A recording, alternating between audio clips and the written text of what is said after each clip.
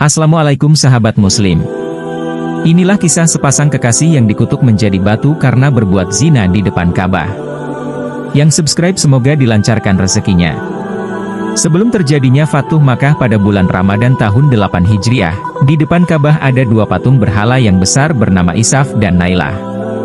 Isaf dan Nailah ini ternyata adalah seorang pasangan kekasih yang kemudian menjalin kasih dan melakukan perzinaan di depan Ka'bah, dan langsung dikutuk menjadi batu. Isaf merupakan laki-laki yang tinggal di Yaman dan jatuh cinta kepada Nailah yang tinggal di Makkah. Namun ketika hendak melamar Nailah, orang tua Nailah tidak merestui. Hingga akhirnya keduanya memilih untuk melakukan hubungan diam-diam. Pada saat itu, musim haji merupakan momen yang pas digunakan untuk bertemu. Keduanya pun sepakat untuk bertemu di depan Ka'bah dan melakukan zina pada malam harinya.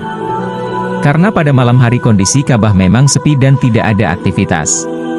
Karena perlakuan itu, Allah subhanahu wa ta'ala pun mengutuk mereka menjadi batu. Keesokan harinya masyarakat yang hendak melakukan tawaf kaget, dan memilih meletakkan kedua patung di lokasi yang berbeda. Patung Isaf diletakkan di Bukit Safa dan patung Nailah di Bukit Marwah. Hal itu sebagai pembelajaran bagi generasi berikutnya. Kami dahulu selalu mendengar kisah Isaf dan Nailah, mereka adalah laki-laki dan perempuan dari suku Jurhum. Mereka berdua berzina di dalam Ka'bah, maka Allah subhanahu wa ta'ala mengubah mereka menjadi dua buah batu, kata Aisyah radhiyallahu anhu. Pada masa Amr bin Luhai berkuasa, kedua patung tersebut diletakkan di Ka'bah dan meminta masyarakat untuk menyembahnya. Amr bin Luhai disebut sebagai bapak kemusyrikan.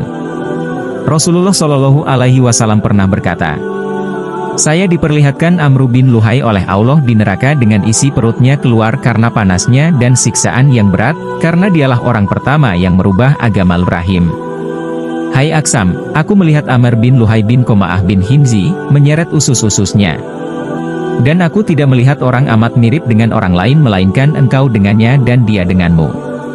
Kemudian Aksam berkata, barangkali kemiripannya denganku membahayakan kuahai Rasulullah. Rasulullah bersabda, tidak karena engkau orang mukmin dan dia orang kafir. Dialah orang yang pertama kali merubah agama Ismail, memasang berhala, mengiris telinga unta, melepas saibah, memberikan wasilah dan melindungi Ham, hadis riwayat Bukhari. Dikisahkan, Amr bin Luhai sebenarnya adalah orang yang sangat baik hati. Masyarakat maka saat itu pun menganggapnya sebagai seorang ulama. Namun Amr bin Luhai tak memahami betul ajaran agama Ibrahim.